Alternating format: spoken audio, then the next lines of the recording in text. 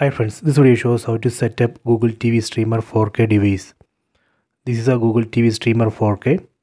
First let me check the ports. Here you can see the HDMI output port.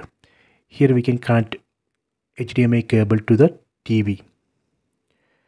Here you can see LAN port. Here we can connect Ethernet LAN cable so we can access internet. This is a USB power port. Here we can connect power cable from the power adapter. This is a reset button. This is a LED light. Let me connect this power cable. Here you can see LED light. That means right now this device is booting. Next I am going to connect this HDMI cable. Done. Then other end of this HDMI cable we need to connect to TV. Next we need to pair the remote. This is a remote controller of Google TV Streamer 4K device. We need to press and hold these two buttons, back button and home button. These two buttons we need to press and hold together to pair the remote. Let me press and hold.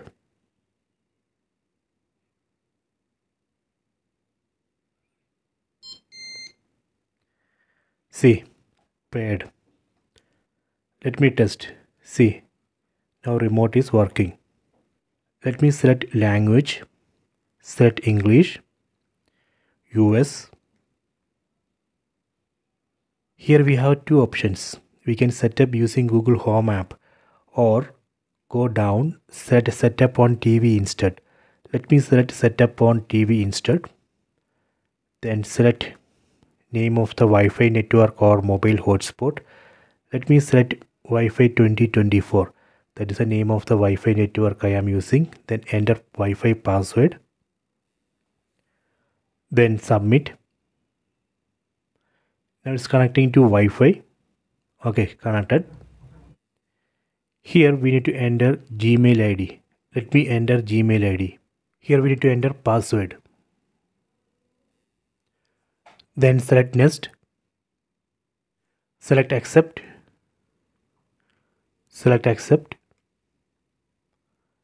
select no thanks. Here select allow. Select home. Select living room. Here we can select list of apps that we need to install. We can install all these apps later as well. Let me select confirm. Select not now. Now setup is in progress. Please wait. It has to install system apps